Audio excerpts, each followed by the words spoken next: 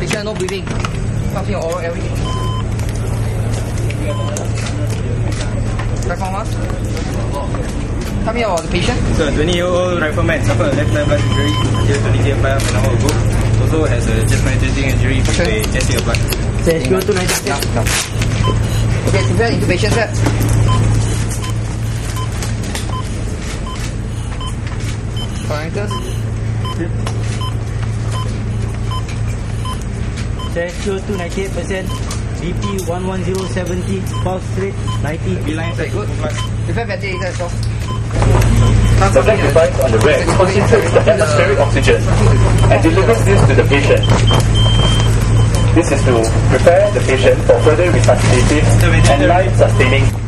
Ventilator ready. Tube. The tube goes into the windpipe of the patient to facilitate the patient's breathing. Buen día, bien, bien.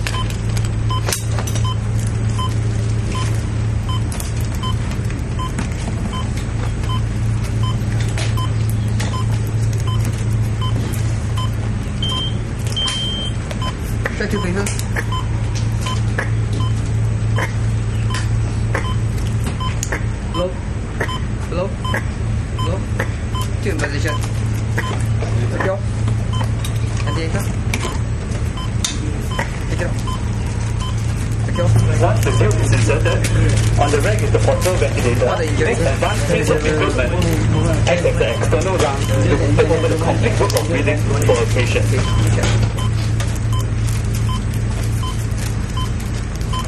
Okay, present chapter insertion and prepare the patient for officer commences to prepare to insert a tube onto the left side of the chest of the patient.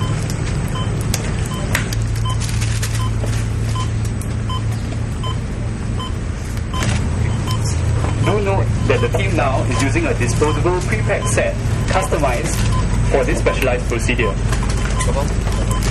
This set, once used, can be discarded and does not require any further maintenance. This ensures the sterility and lowers the range of infection. I would like to highlight that all the, most of the equipment systems here can be transported along with the patient and be brought with the patient to the next level of care. The whole setup enables us to bring the capabilities of an A&E to the front line for the soldiers.